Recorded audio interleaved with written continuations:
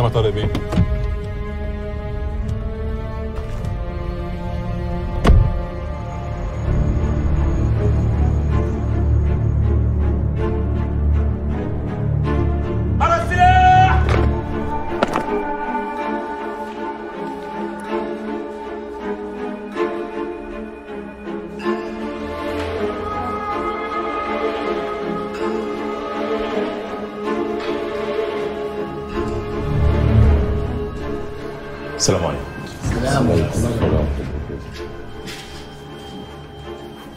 قول لي يا طارق. انت واثق من المعلومات اللي جات لنا أخيرا دي؟ مصادرنا يا فندم بلغتنا إن في تحركات غريبة هناك على غير المعتاد. طب تحرياتك يا طارق. تمت التحريات. أنا شايف إن دي فرصة مناسبة بالنسبة لنا. أكيد سيادتك فاكر آخر شحنة سلاح دخلت البلد عملت فينا إيه وزمايلنا. والمعلومات اللي عندنا بتقول إن دي أكبر شحنة سلاح هتدخل البلد من سنين. الحقيقة إحنا مش ناقصين. كفاية قوي الأسلحة اللي مرقت البلد الفترة اللي فاتت. عشان كده أنا عايز كل القطاعات في الوزارة ترفع درجة الاستعداد. رفعت. يا فندم. أنا عاوز أبقى مع الرجالة لحظة بلحظة. تمام يا فندم. ما تقلقش يا فندم. على جثثنا إن الشحنة دي تدخل مصر. على بركة الله. ربنا معاكم. أنا كده عملت اللي عليا. للمرة الأخيرة بفكرك. العملية دي لو ما تمتش لأي سبب أنت لوحدك اللي هتشيل. ما تقلقش. كل حاجة معمول حسابها.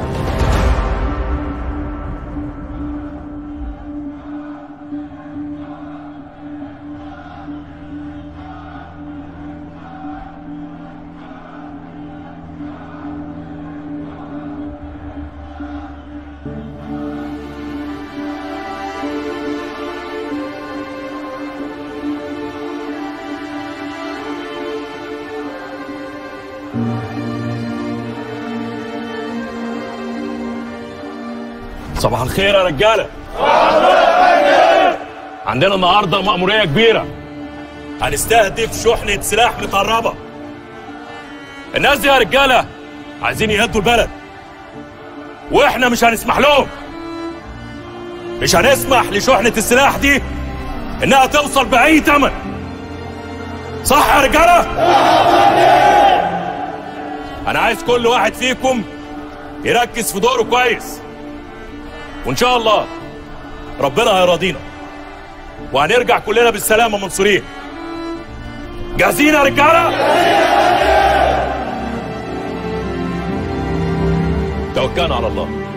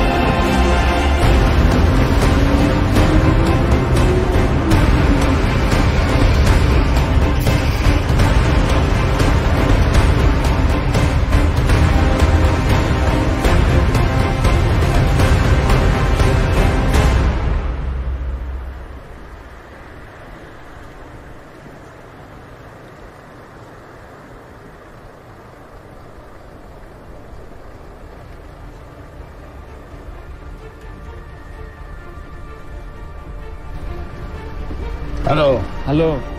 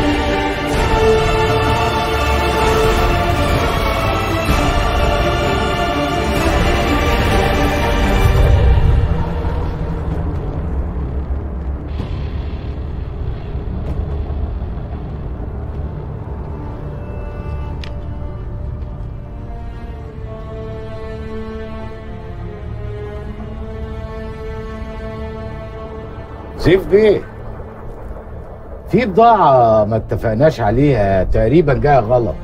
بضاعة من اللي ما بنشتغلش فيها. تحب أرجعها؟ ترجع إيه بس يا سليم؟ استلم البضاعة ولما ترجع نتكلم في كل حاجة. وماله بس يا ريت لما أرجع يبقى في مبرر مقنع. سلام.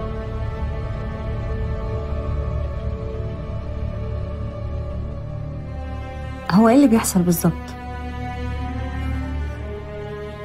هفضل أعلمك لغاية إمتى.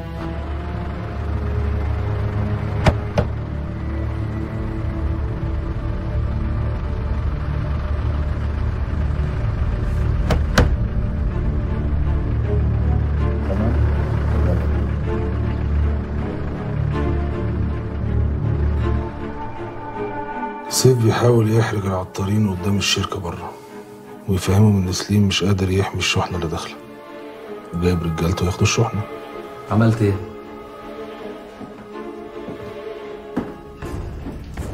كل حاجة زي ما طلبت يا سيف بيه بلغتهم؟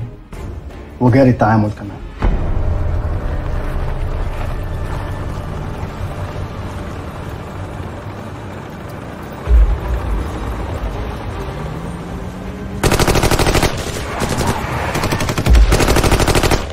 وفي نفس الوقت البوليس على بعد كام خطوة منهم.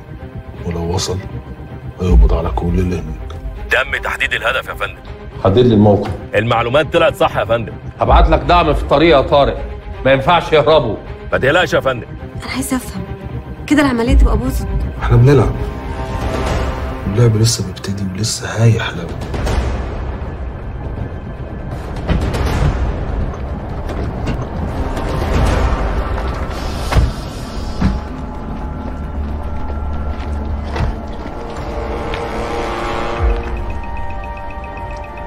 What's going, Smith? We will pay whatever you want. خلينا نتكلم عربي شوية أنا مش عاوز فلوس. أنا عاوزك أنت والعربيات كلها. ما كنت بعتنا مع الأفارقة دول يا باشا. بدل ما أنت قلقان كده. الراجل اللي أنا بعته والرجالة معاه بياخدوا فلوس في الحاجات دي. ده غير بقى إنه هيجيب لنا كل السلاح هيخلصنا من عيلة العطارين. مش هتقول لهم هما جرى إيه يا سميث؟ انت نسيت انت بتكلم مين؟ سليم العطار. سليم بيه العطار.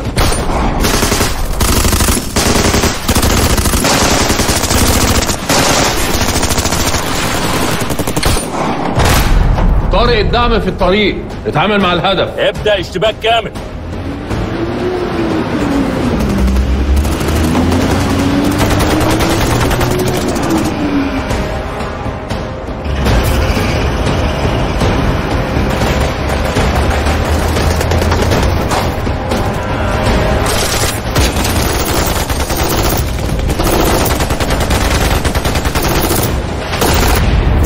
المعلومات اللي وصلت صحيحه يا فندم وحصل اشتباك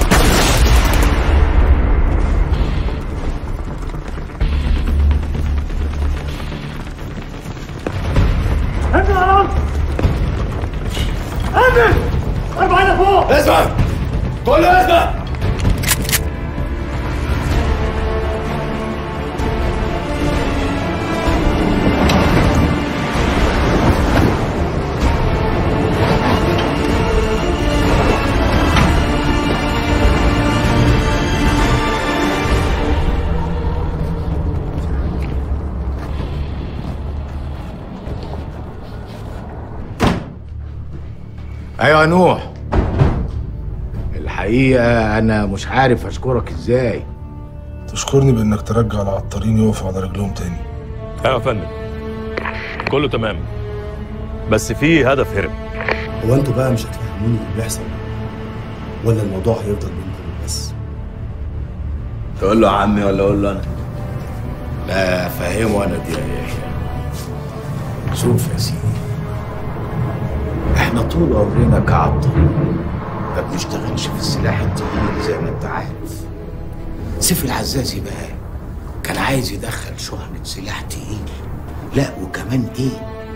كان عايز يلهف شحنتنا ويقضي علينا. وبكده يبقى خرج العطارين من السوق إلى الأبد. ويبقى ضرب كل العصافير بحجر واحد. إحنا بقى خدنا كل العصافير من إيده وخدنا من إيده الحجر كمان. لا. أفهم بقى إزاي؟ عملت كده. شحنة سلاح كبيرة قوي جاية؟ وسيف كان عارف إن مفيش حد يقدر يدخل كمية زي دي غير نوح. وعشان كده وسطني إن أكلمه. بس أنا ما كنتش مرتاح للي بيحصل. وعند نوح توقعاتي طلعت صح. السلاح اللي جاي تقيل مش هي دي المشكلة.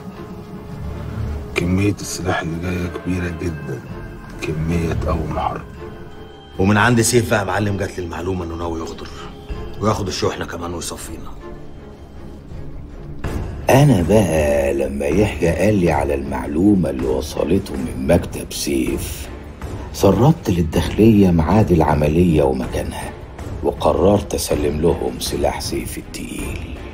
وعرفت إن طارق البنا هو اللي جاي ودي كانت نص الهدية. المرة الأخيرة بفكرك. العملية دي لو ما تمتش لأي سبب أنت لوحدك اللي هتشيل. ما تقلقش. كل حاجة معمول حسابها. يحيى وعمار هيأمنوا الطريق عشان رجالته. هنمشي بسرعة قبل وصول الداخلية. المهم انت أمن لنا المخزن اللي اتفقنا عليه. ألو. ألو. وكل اللي كنا متوقعينه حصل. وفي آخر لحظة قدرنا نخلع بشحنتنا قبل الداخلية ما تكبس. هنا بقى يجي دور الهدية. سيف من كام شهر دخل سلاح تقيل وعمل مشاكل كتير قوي. يبقى السلاح ده أحسن يروح في إيدين اللي بيدافعوا بيه عننا مش اللي بيقتلونا بيه.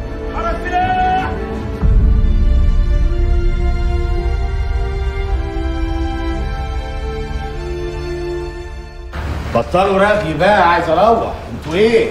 ما جوعتوش؟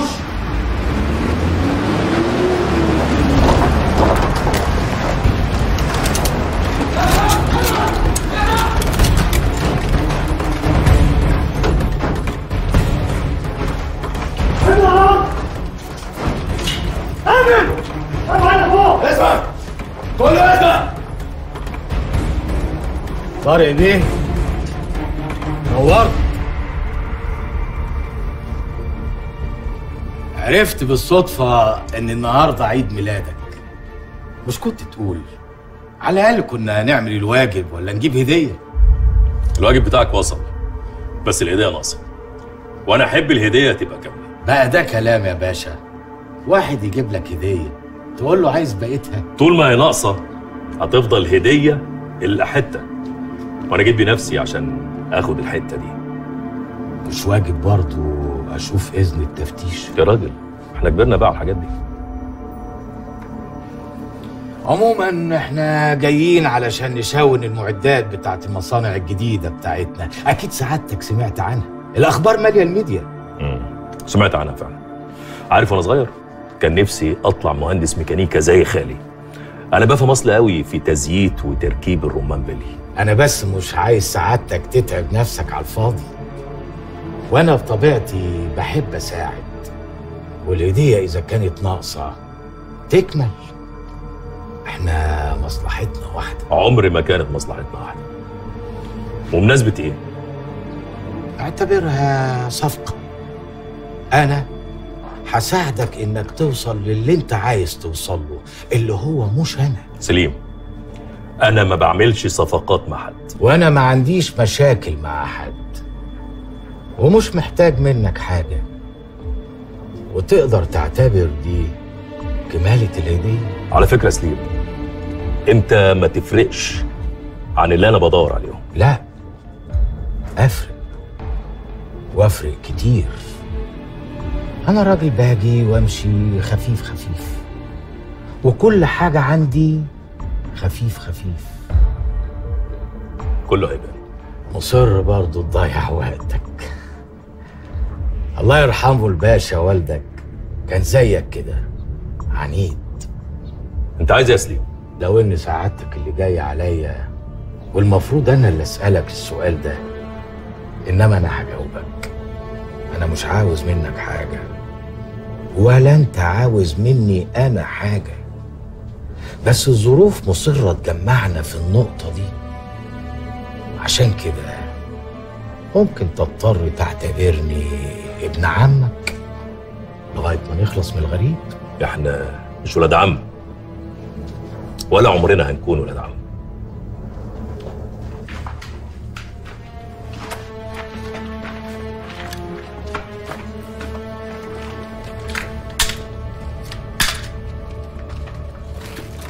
فتشت كويس؟ فتشنا يا باشا ما لقيناش غير دول. فاضل العربيتين دول بس. دي سعادتك طبنجات يحيى وعمار وحربي وكلها مرخصة. وأنا شخصيا ده المسدس بتاعي. وبرضه مرخص يا باشا. أكيد سعادتك عارف. فتش العربية التانية آه يا باشا.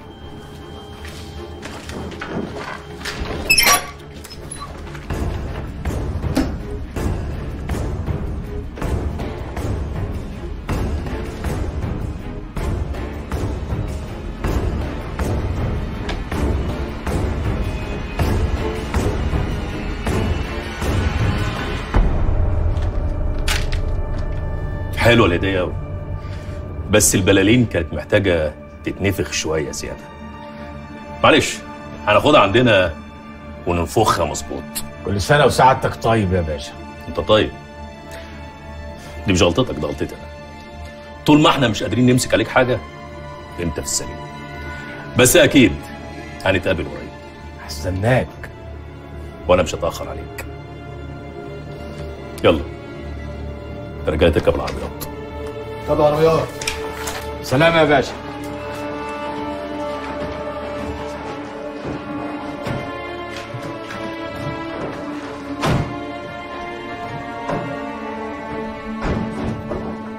حلوة منك يا عم.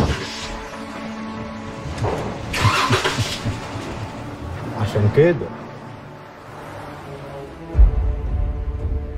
أنا جاي في بالي لما العربيات اتبدلت. إن ممكن يكون العربيات الجديدة فيها حاجات كتير. إلا إن يكون فيها بلالين. كده بقى الصورة وضحت. ملعوبة منك يا سليم يا عطار.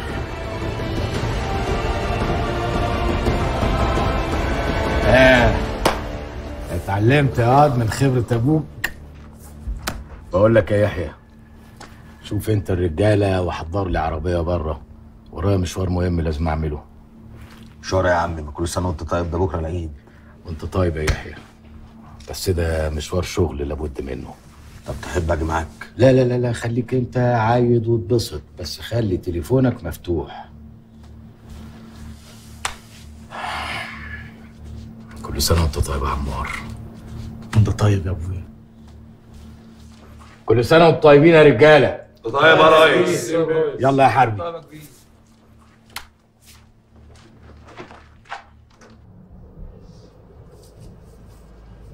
يعني إيه يا ابني مش راجع ده اول عيد ليك مع مراتك نفسي أروح الدار يا يحيى. اخواتي وحشوني. والله براحتكم بقى انت وابوك هتشلوني.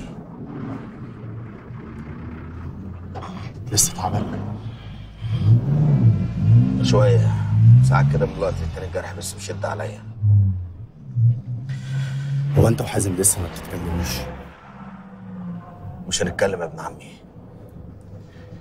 اللي حصل ما يتنسيش لو بعد سنين. يلا كل سنة وانت طيب. وانت طيب.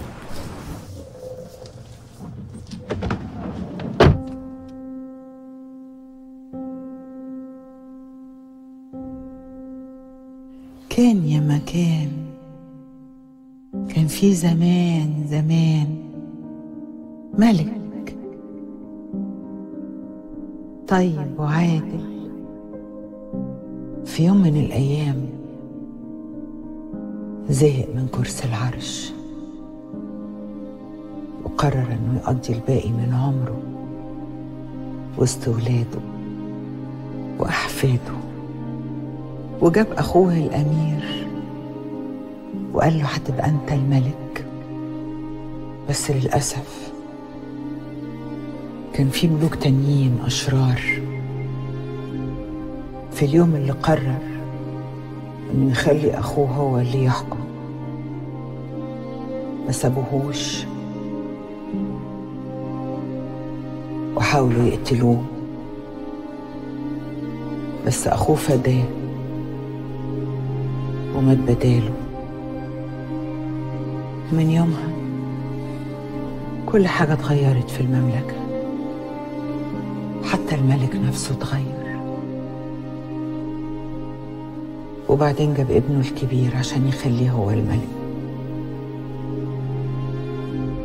بس برضه ملحقش. عشان مات هو كمان. قتلوه الأشرار. ومن ساعتها مرات الملك عمالة كل يوم تخسر واحد من ولادها.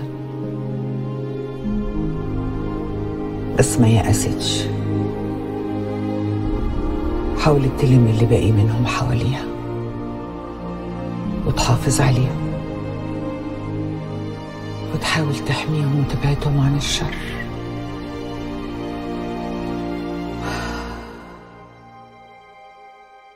كنت عارفة إنك مش هتسيبنا لوحدنا وهترجع لنا تاني. خلافاتنا حاجة وعداواتنا مع الناس حاجة تانية خالص يا جان هانم. ومن الواضح إن هم هيفضلوا ورانا لحد ما نتجمع ونبقى كلنا مع بعض. صح. هم عارفين إن إحنا لما نتفرق يبقى أسهل ليهم يقضوا علينا. عشان كده رجوعك ده هيخلي اللي باقي من العيلة يقفوا تاني مع بعض. أنا دلوقتي بس نفسي ألاقي أمي. عشان ما أخسرش حضنها زي ما خسرت حضن أبويا. وإن شاء الله بعد ما أخلص اللي إحنا فيه هرجع أدور على عيلتي من تاني. إحنا عيلتك يا حسن.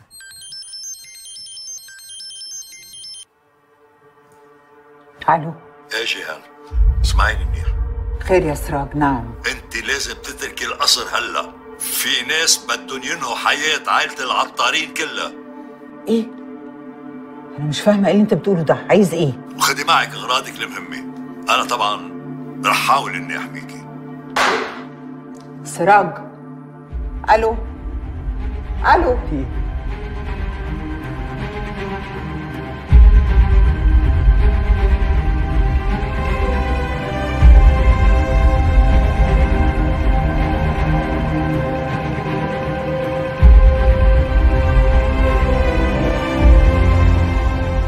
خير يا مريم في إيه؟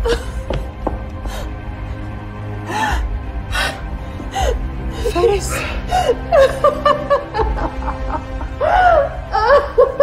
طيب اطلع على فوق أنا أتصرف. يلا يلا يلا. اطلع. اطلع.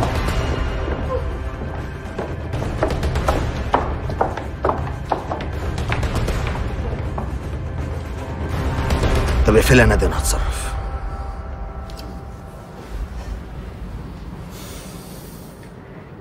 بغض النظر عن السبب اللي خلاها تكلمك عشان ده مش وقته. بس شفت كل اللي قلته لك بيحصل. لازم تتحرك يا يحيى قبل ما كل حاجة تضيع منك. مش غريب علشان انها تعمل كده. طول عمرها بتكرهنا أنا وامي أنا اللي مستغرب وحسن إزاي يوافق؟ أنت فاكر إن هو اللي هيسوق؟ جيهان اختارت أضعف واحد فيكوا عشان تركب هي الكرسي وبكرة تملى دماغه وتخليه يطردك زي ما طردت مامتك. دي فرصتك الوحيدة زي ما نادي قالت لك. ومفيش حد أحق منك إنه يبقى كبير العطارين. أنت الكبير يا يحيى. لا تبقى ابني ولا اعرفك لو الكرسي ده ضاع منك يا يحيى. عمرهم ما كانوا أهلنا. ولا هيخلونا في يوم من الأيام نبقى منهم. هيفضلوا شايفيننا خد منهم يا يحيى. الكرسي ده مفيش حد أحق بيه منك يا ابن بطني.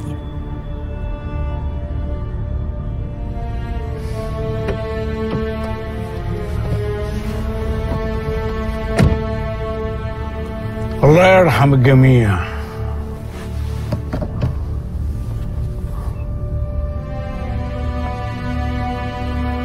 الأمانة وصلت يا باشا هايل يا فتحي مستني منك رسالة بالميعاد اللي اتفقنا عليه. نوح ده اسمه؟ امال رقمه مع إن الوش الخشب ده مش لايق عليك خالص. بس ما عنديش مشكلة أشوف نوح ده يطلع إيه. يطلع حاجة كبيرة قوي وماشية تانية من الرجالة الكبار. واحد من الناس اللي هتقابلهم مرة واحدة في حياتك. والمرة دي يا تكسب رضاه يا تخسر نفسك. أنا هكسب من ورا نوح ده إيه يا بني آدم افهم نوح ده يبقى البوابة لكل الشغل التحتاني في البلد. من الآخر كده معرفة نوح لوحدها تنططك سلالم كتير قوي في سلمة واحدة. بس المهم تبقى تحت طوع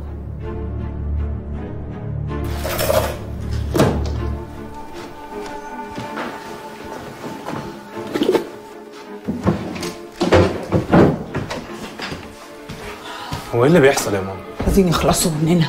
هم مين دول؟ كل الناس. القريب قبل الغريب. عشان كده أنا قررت إن إحنا نسافر لغاية الدنيا ما تهدى. قول لإخواتك يحضروا باسبوراتهم. إحنا مش هنهرب. لا هنهرب. عشان ما عنديش أي استعداد إني أخسر حد فيكم تاني. أنا هخلي المحامي يحجز لنا التذاكر. يلا بسرعة اتحرك.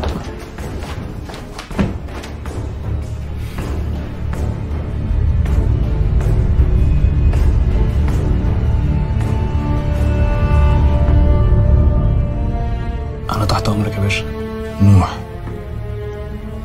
نوح بس.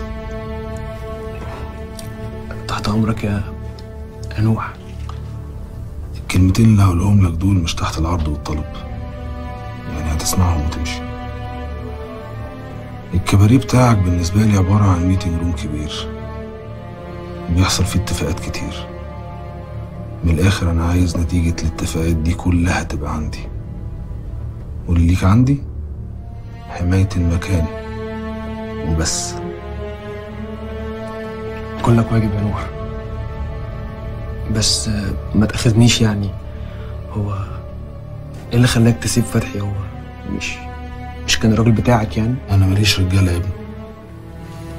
وبعدين زي ما قلت لك الكلام اللي هقوله لك ده مش تحت العرض والطلب. يعني هتسمعه وهتمشي. ولك مطلق الحرية إنك تعمل اللي أنت عايزه. بس أنا كمان هيكون لي مطلق الحرية إن أعمل اللي أنا عايزه.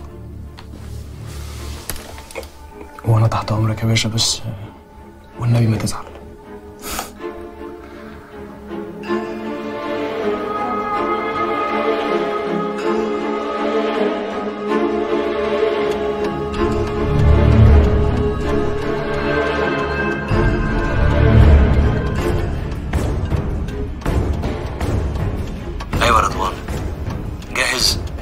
رضوان طول عمره جاهز.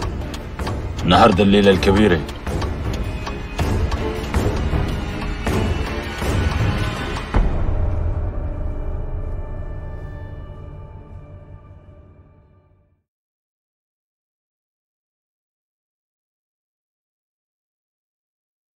شفت يا أبو الولاد؟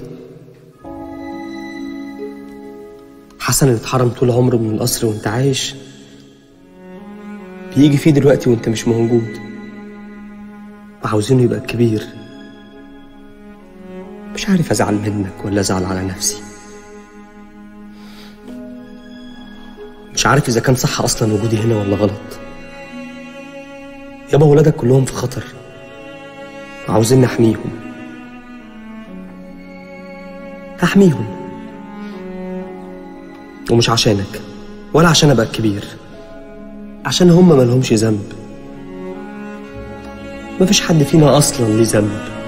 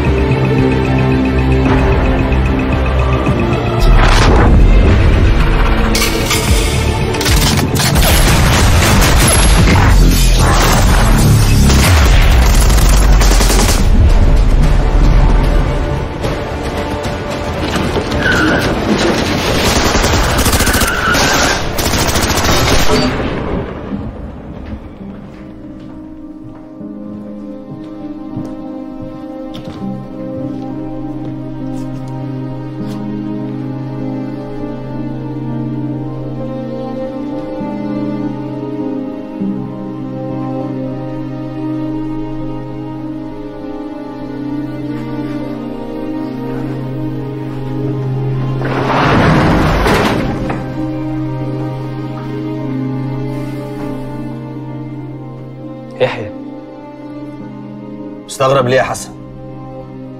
ده أنا اللي المفروض أستغرب إنك هنا. أنا جاي الحق العيله اللي بتوع يحيى غريبة. لا لا كمان جيت عشان ألحق العيله اللي بتوعها خلاص. نلحقها سوا. بس الكرسي ده يا أبو علي ما بيشيلش غير واحد بس.